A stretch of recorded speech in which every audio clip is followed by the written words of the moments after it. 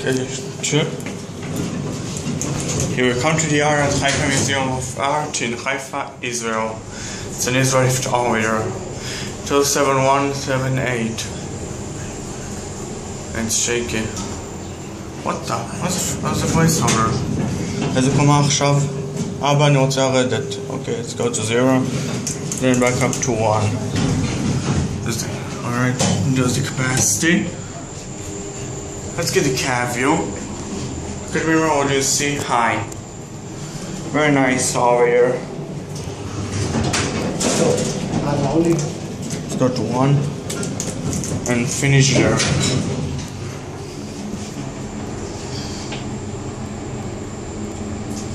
Alright, that's it.